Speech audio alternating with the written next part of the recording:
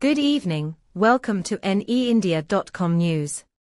Amtali police seized foreign liquor worth 1 lakh rupees in an anti-liquor raid during the festive season in Harpania. Let's take a look at the complete report. Based on confidential information, Antali police conducted an anti-liquor operation in the Hapania area and seized foreign liquor worth around 1 lakh rupees. SDPO Shankar Chandra Das provided detailed information about the operation, highlighting the police's efforts to control illegal liquor stockpiling and black marketing during the festive period. The raid was part of a broader initiative to ensure public safety and curb unlawful activities surrounding alcohol sales. Such actions by the police are vital during festivals, when black marketeers attempt to exploit the demand for liquor, endangering public health and order.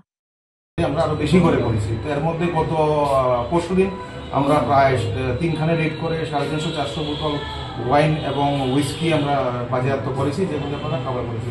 গতকালকে রাত্রে, ভোর রাত্রেবেলা আড়াইটা নাগাদ আমরা ইয়াতে, হাঁপানিয়াতে, মধ্যপাড়াতে, ওর নামটা ছিল রাকেশের বাড়িতে ও এক্সপোনে ছিল প্রায় তিনশো আটচল্লিশ বোতল বাডভাইজার কোম্পানির যে বিয়ার ওটা আমরা বাজেয়াপ্ত করতে পেরেছি। আমাদের থানার বড়বাবু এবং মৃণাল সাব ইন্সপেক্টর আহ, ওনারা লিড করেছেন এবং আমিও ছিলাম সঙ্গে।